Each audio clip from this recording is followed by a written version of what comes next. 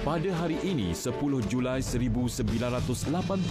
istiadat pertabalan ke bawah duli yang maha mulia Sultan Haji Ahmad Shah Al-Musta'in Billah Ibni Almarhum Sultan Abu Bakar Riayatuddin Al-Muazzam Shah dan ke bawah duli yang maha mulia Tengku Haja Afzan binti Almarhum Tengku Muhammad sebagai Yang di-Pertuan Agong dan Raja Permaisuri Agong diadakan di Balai Rong Seri Istana Negara Kuala Lumpur. Pertabalan ini dibuat bagi menggantikan ke bawah duli yang maha mulia Sultan Yahya Petra Ibni Almarhum Sultan Ibrahim